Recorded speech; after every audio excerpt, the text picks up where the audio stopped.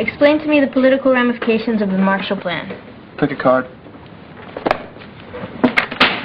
Huh. Well, that just made the trick a little bit harder. Just focus.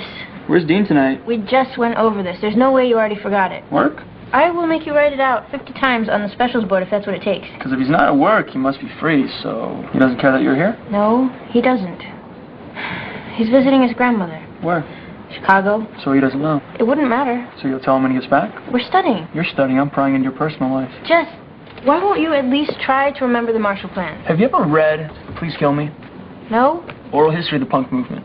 You'd like it. You can borrow it if you want. I'm here to help you study. Now, if you want me to go, I'll go. But if I'm going to stay, then you will stop distracting me and start paying attention, understand? I understand. Good. And yes, I would like to borrow it. Thank you very much. Now open your book.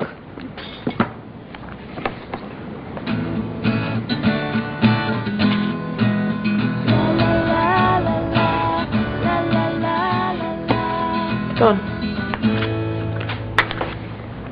This isn't Shakespeare. It's not? It's the words to a Clash song. Ah, but which Clash song? Hey, I'm not the one being tested right now. Ten seconds. Jess, Nine, eight, seven. stop it. Six, five, four. You know, you're really starting to... Oh, oh, Guns of Brixton.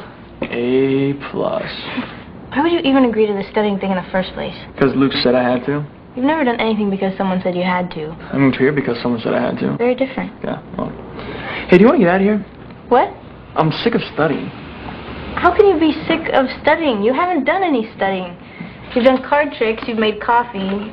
You've tried to explain to me how on earth Coldplay could be considered an alternative band, but as of yet, no studying. That's your car? Yes, it is. Okay. Tell you what. Let's go get some ice cream, and then when we get back, I'll study. This is a diner. There's ice cream here. Yes, but we don't have any cones. Cones. I need cones. Well, so if we go get ice cream, In cones. then you will be a perfect student for the rest of the night? That's right. I could not believe you less. Here, you drive. I'll read you Othello. Won't that be fun? You have no idea how much.